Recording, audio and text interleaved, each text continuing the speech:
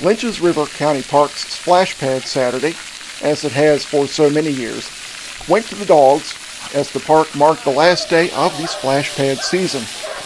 About 20 dogs turned out for the event, which featured the splash pad in full operation and at least 10 tennis balls for every dog on hand. Dogs ran through the water in pursuit of tennis balls and back through the water to return the tennis balls, though not always to their human.